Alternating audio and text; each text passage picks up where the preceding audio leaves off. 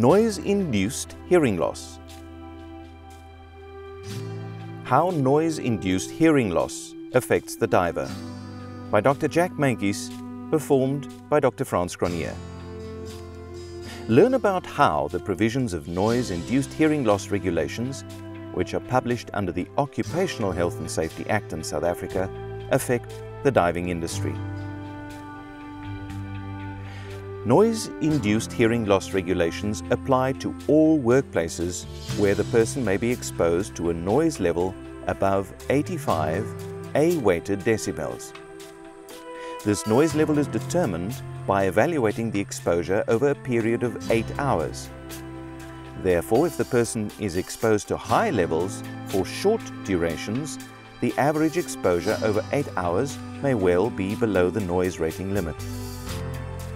The way in which such exposure is determined in practice by means of specific measurements performed by an approved inspection authority. More details are available on the DAN website. The regulations require an employer to formally assess the workplace for potential exposure above the noise rating level of 85 decibels at least once every two years. Such an assessment should consider the potential sources of noise and the extent to which people may be exposed. Other factors to include in the assessment would be the work process, where the failure of noise control measures can be expected. In terms of the diving environment, the following are common sources of loud noises. Compressor rooms are notorious for their high levels of noise and cylinder filling stations may likewise be noisy. Depending on the machinery used and the activities performed, workshops can be quite noisy.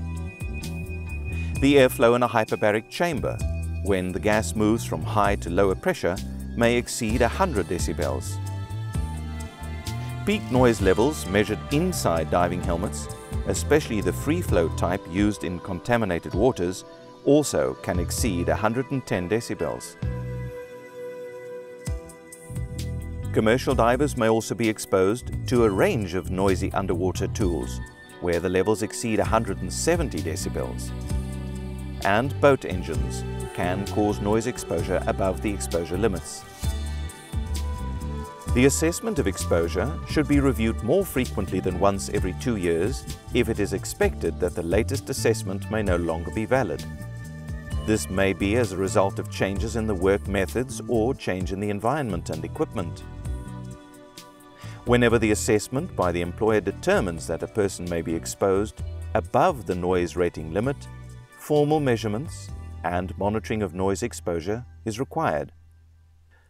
The details of the necessary noise monitoring is described in the regulations, and they include references to the South African Bureau of Standards documents that prescribe certain standards. The noise monitoring may only be performed by an approved inspection authority and, as was said previously, at least every two years. The record of assessments of potential exposure of formal noise monitoring must be kept for a period of 40 years. Noise zones. All areas with noise levels above the noise rating limit must be clearly marked with signs indicating it's a noise zone. No person may be allowed to enter the area without wearing appropriate hearing protection. In addition, attempts should be made to reduce the noise levels by means of engineering or administrative control measures such as rotating workers. Medical surveillance. Persons who are exposed to noise levels above 85 decibels are required to take part in medical surveillance programs. These screen them for possible effects of the exposure to noise. These include the performance of various audiograms at baseline, regular intervals, and prior to leaving the company. Not just any person may perform this. The regulations require a specifically competent person with either a qualification in occupational health or an ENT specialist or an audiologist. The records of medical surveillance must be kept for 40 years.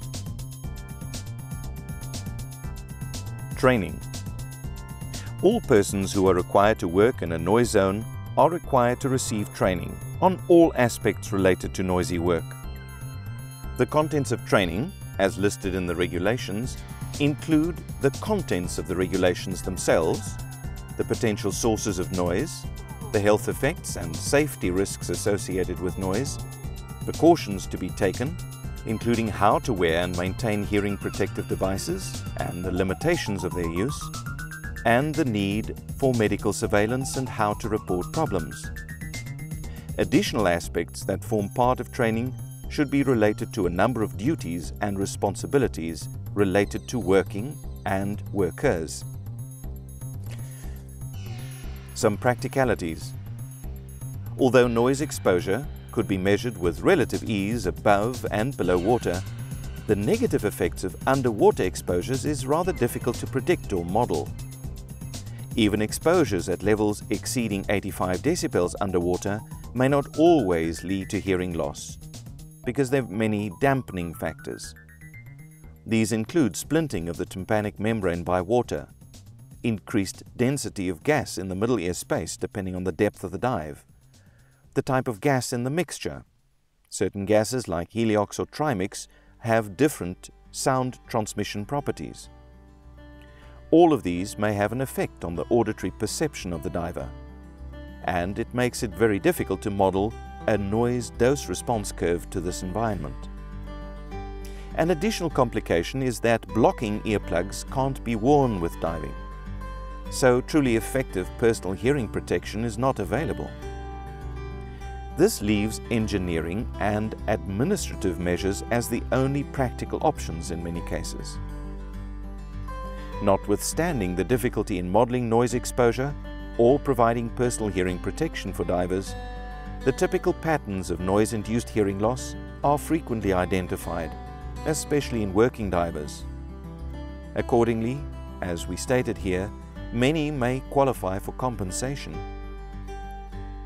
In conclusion, all diving operators and employers of divers should formally conduct a noise risk assessment as prescribed in the regulations and take further action such as noise monitoring and medical surveillance whenever the noise exposure is above the legislated limit.